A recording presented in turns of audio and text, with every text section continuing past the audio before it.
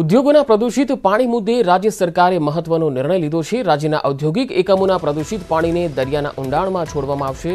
Pipeline મારફતે ઉદ્યોગનું પ્રદૂષિત પાણી ડીપ સીમામાં છોડાશે, જેથી નદીમાં પ્રદૂષિત પાણી વહે નહીં.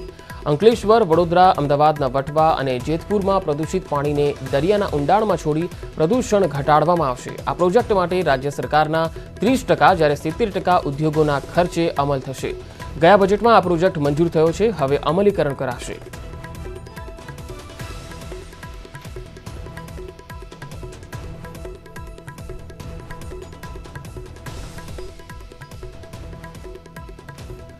સાબરમતી નદીની સફાઈનું આજથી મહાઅભિયાન હાથ ધરાય છે અને સાબરમતી નદીને શુદ્ધ કરવા માટે આમ તો ગઈકાલથી જ આ અભિયાનનો પ્રારંભ થઈ ગયો હતો, ત્યારે સ્વૈચ્છિક સંસ્થાઓ સહિત મોટી સંખ્યામાં અમદાવાદીઓ પણ જોડાયા છે. આગામી ચાર મહિનામાં સાબરમતીને સંપૂર્ણ શુદ્ધ કરવાનો લક્ષ્યાંક છે.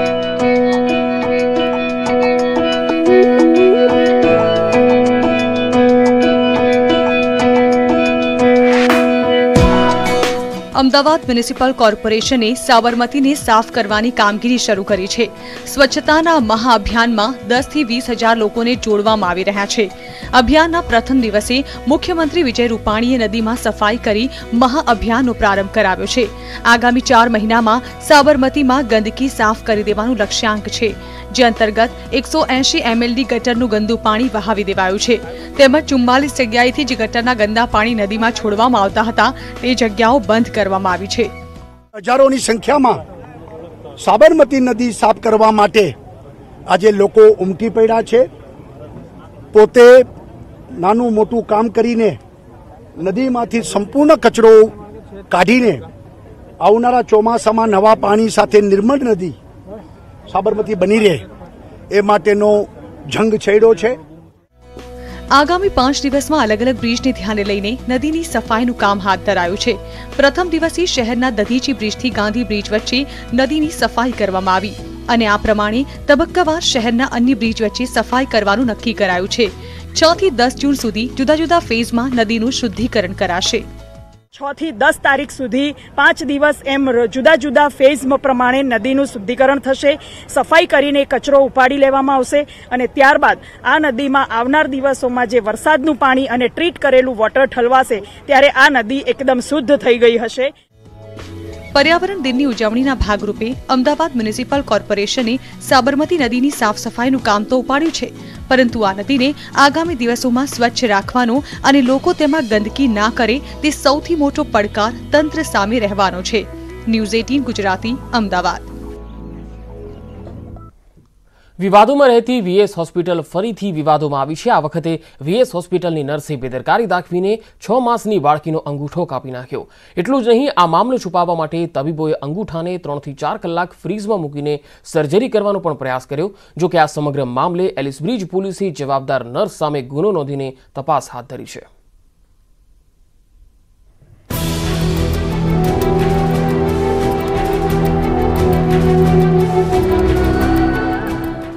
વીએસ હોસ્પિટલ સતત વિવાદોમાં રહે છે.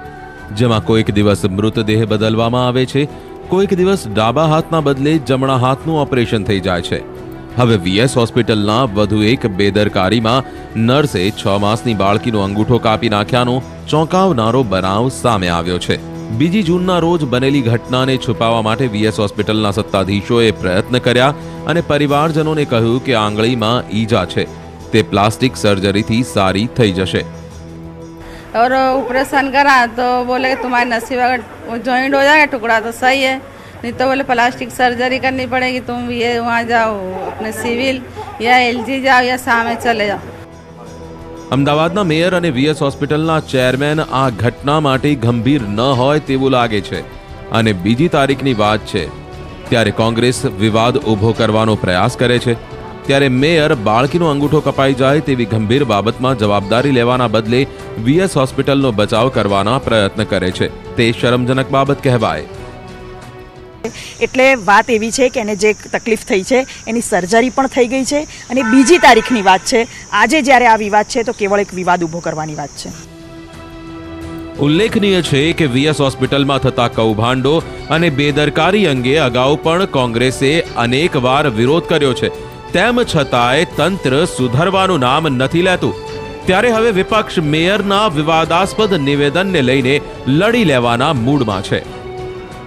મેયરશ્રીએ જે નિવેદન કર્યું છે, ખરેખર તો અમદાવાદ શહેરના મેયર એ વીએસ હોસ્પિટલના ચેરમેન છે. એટલે જવાબદારી એમને પણ આવે છે. એમણે કોઈ પણ સ્ટેટમેન્ટ કરતાં પહેલાં વિચાર કરવો જોઈએ. એમનો સ્ટેટમેન્ટ એવો છે કે આ એક નાની ભૂલ છે. નાનો હાથ હતો અને કદાચ કપાઈ ગયો હશે અથવા એક નાની ખરોચ આવી છે.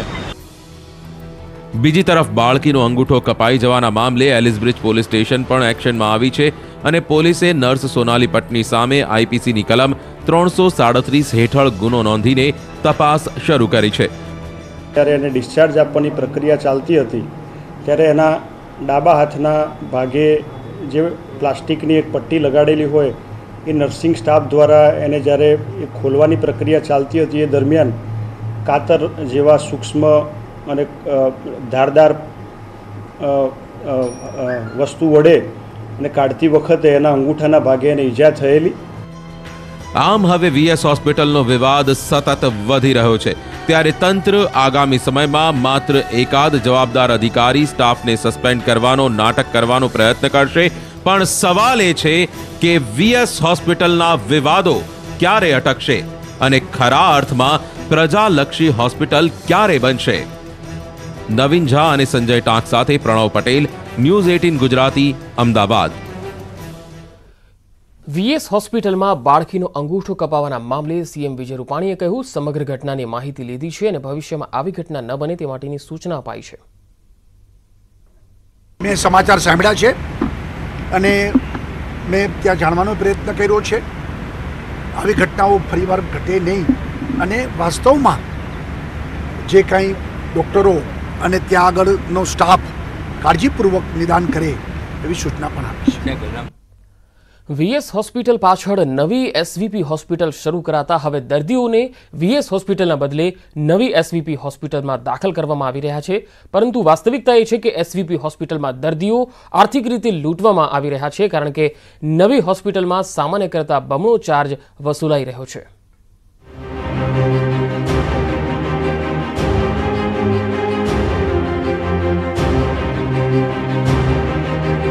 નવી એસવીપી હોસ્પિટલ શરૂ કરતા જ સત્તાધીશોએ વીએસ હોસ્પિટલને ટાર્ગેટ કરી હોય તેમ વીએસ હોસ્પિટલને બારસો બેડમાંથી પાંચસો બેડની કરી દીધી.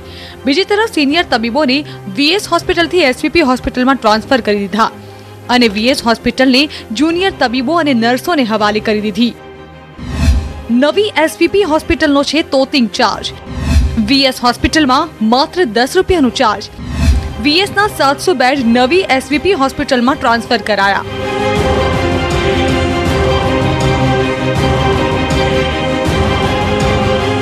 તમામ સોથી વધુ સિનિયર તબીબોને નવી એસપીડી હોસ્પિટલમાં ટ્રાન્સફર કરાયા. નર્સ અને જુનિયર ડોક્ટર્સના ભરોસે વીએસ હોસ્પિટલ ચૌદ માળની નવી એસપીપી હોસ્પિટલના માત્ર ચાર જ માળ કાર્યરત. આમ હવે વીએસ હોસ્પિટલમાં આવનાર દર્દીઓને સારી ગુણવત્તાવાળી સારવાર નથી મળતી અને પરિણામે તેમને નવી એસપીપી હોસ્પિટલમાં દાખલ થવા માટે ફરજ પાડવામાં આવે છે. અથવા તેને ના છૂટકે વીએસ હોસ્પિટલમાં સારવાર લેવી પડે છે. કારણ કે નવી એસપીપી હોસ્પિટલનો ખર્ચ ગરીબ માણસે પોસાય તેવો નથી. જો સુવિધાની વાત કરવામાં આવે, તો વીએસ હોસ્પિટલ ને એસવીપી હોસ્પિટલની કમ્પેરિઝન જો કરીએ, તો દાખલ ફી જે છે વીએસ હોસ્પિટલની તે દસ રૂપિયા છે. એસવીપી હોસ્પિટલમાં તે છે રૂપિયા સો થી ત્રણસો રૂપિયા સુધી. વીએસ હોસ્પિટલમાં જનરલ ફી ફ્રી છે. જ્યારે કે એસવીપી હોસ્પિટલમાં રૂપિયા ત્રણસો છે. વીએસ હોસ્પિટલમાં એક્સરે ફી ફ્રી છે. જ્યારે કે એસવીપી હોસ્પિટલમાં રૂપિયા બસો છે.